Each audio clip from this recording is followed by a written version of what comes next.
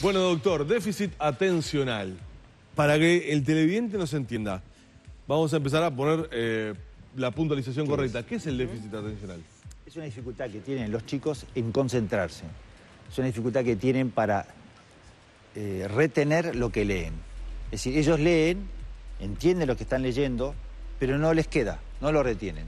Entonces, es como que el conocimiento entra y sale no queda depositado. Esto pasa en los niños, en los, adolescentes, pero también en personas mayores que hacen facultad, por ejemplo. Claro, esto pasa en los niños, en los adolescentes y eh, se puede decir que es una dificultad en la maduración del cerebro, que está vinculado a los circuitos de dopamina, que es un circuito del cerebro muy importante, que el 75% de los chicos que tienen déficit atencional solos maduran y salen del déficit atencional en el, largo, en el transcurso de la adolescencia. Eh, quiere decir que hay algunos que no fueron tratados y, que después en la vida adulta o siendo estudiantes de facultad, por ejemplo, tienen déficit atencional. Este, si uno dice, bueno, pero si se cura solo con el transcurso de la adolescencia, ¿por qué conviene tratarlo? Conviene tratarlo porque el chico va a tener muchas dificultades para rendir académicamente, va a tener dificultad en el control de los impulsos, va a tener dificultades en el trato con sus amigos. Y entonces eso va a ser muy frustrante. Claro. ¿Y cómo, cómo se detecta? Eso. Porque supongo en el colegio Es muy importante, por ejemplo, las maestras, que se dan cuenta que el chico está colgado, ¿no? Está en la clase y está en otra cosa, y no atiende, y le preguntan y está en otra cosa. O también, eh, primero que es más frecuente los varones que las mujeres, mucho más los, los niños que las niñas. ¿no? ¿Eso a qué se debe? Y bueno, pues eso, porque el circuito de maduración de la dopamina eh, tarda más en madurar en los hombres que en las mujeres.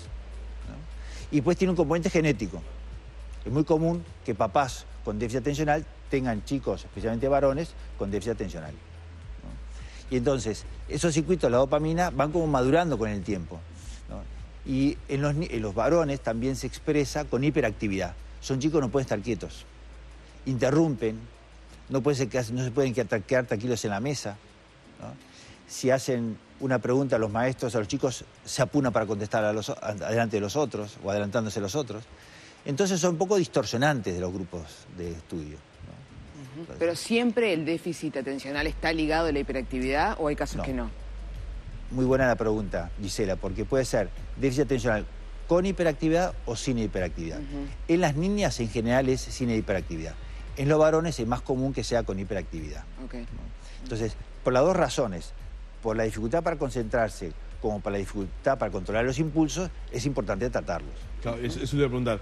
¿Qué tipo de tratamiento se hace en el caso de los chicos o en el caso de los adolescentes? Si es el mismo o es distinto.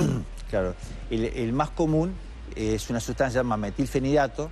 Los nombres comerciales son, por ejemplo, la ritalina o concerta, que son, son sustancias que mejoran la cantidad de dopamina que hay en el circuito de la concentración, digamos, del el depósito de los conocimientos.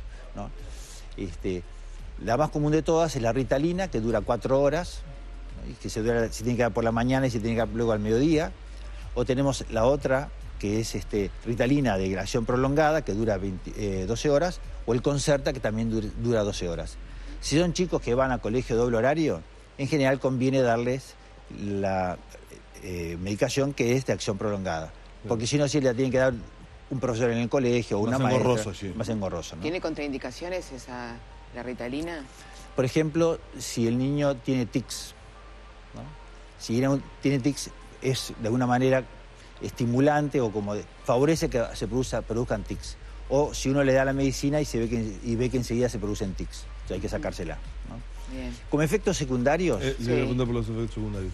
Eh, pueden bajar un poco el apetito y también en algunos casos pueden lentecer un poco el crecimiento. Entonces, ¿Hay recomendaciones para eso? Entonces lo que se recomienda es que se dé durante la semana y se suspende los fines de semana.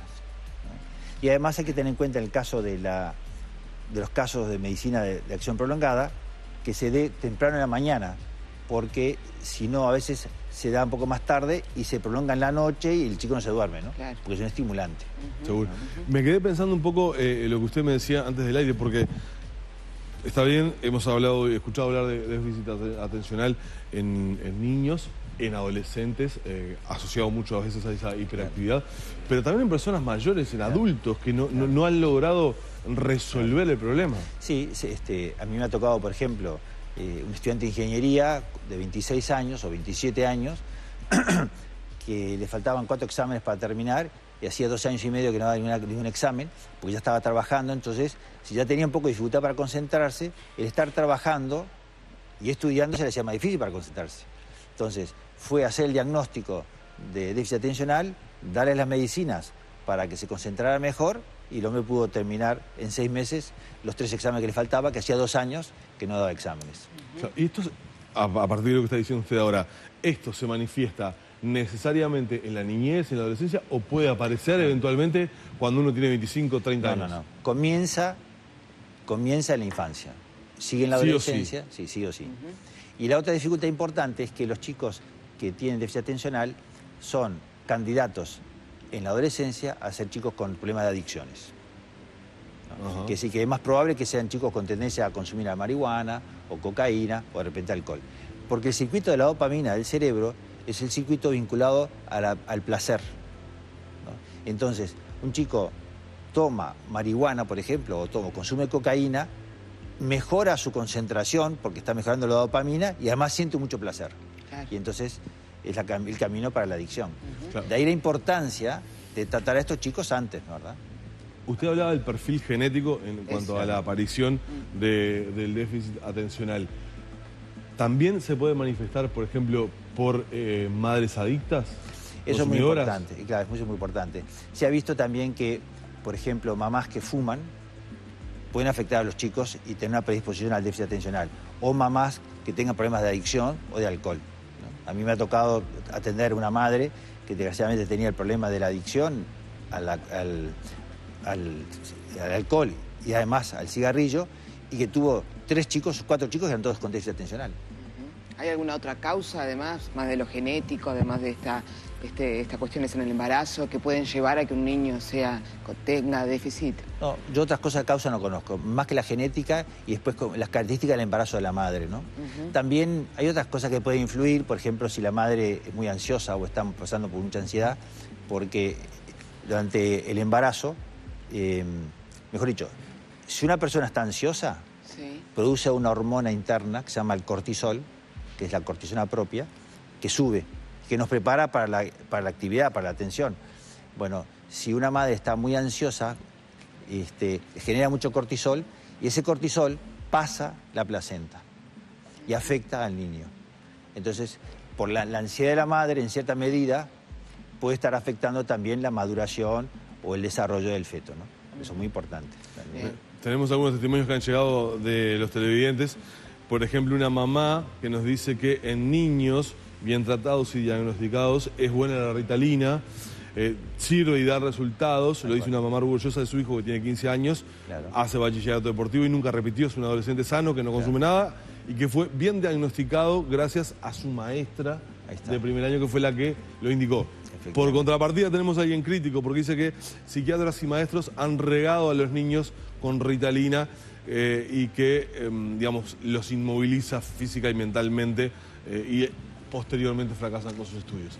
Son dos, caras de una misma Está muy Bien. Y bueno, tienen, los dos tienen razón, porque hay casos en que la ritalina no les cae bien, pero también es fundamental el buen diagnóstico. Entonces tiene que ser visto por un psiquiatra. No puede ser medicado por un médico general.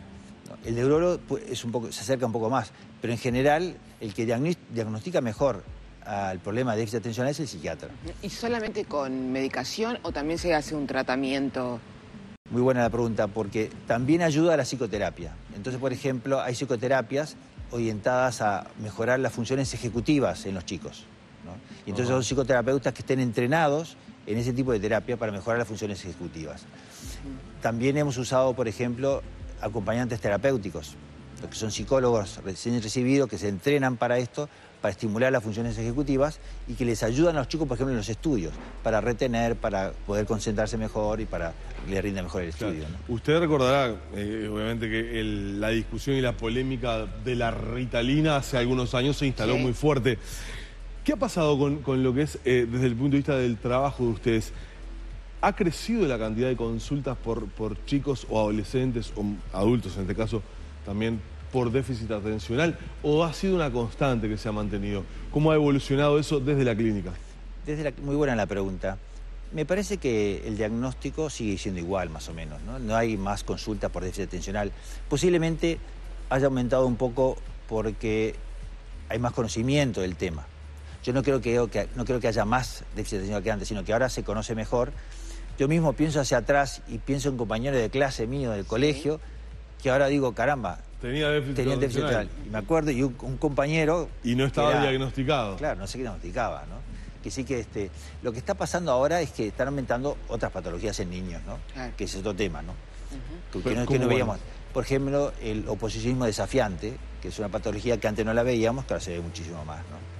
Que es una más que es más complicado, pero puede ser motivo para otra, otra Seguro, Yo me quedé pensando en lo de los adultos, ¿no? Porque se debe dar muchos casos que, adultos que por ahí dejan la carrera y después la quieren retomar y no se pueden concentrar y dicen, bueno, es lógico, porque estoy trabajando es lógico que no me concentre. Y capaz que ahí hay una patología. Efectivamente, este, eh, nosotros encontramos en los adultos también déficit atencional, porque no se, porque no se trataban antes. Claro. claro.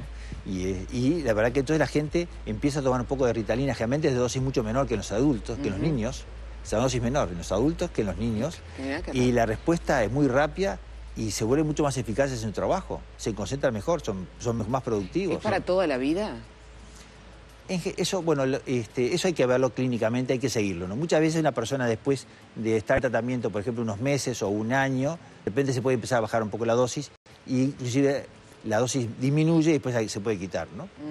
Claro, eso clínicamente evoluciona Hay que, uno lo ve como clínicamente. Doctor, le agradecemos muchísimo, ha sido más que ilustrativa la charla, por supuesto. Eh, sabemos que va a tomar unos días de descanso, así que este, le, auguramos unas buenas vacaciones. Muchas gracias. Gracias por haber venido. ¿eh? Y gracias por haberme invitado. Muy bien. Vamos cerrando por aquí esta charla más que interesante, por cierto, con el doctor Alexander Pike.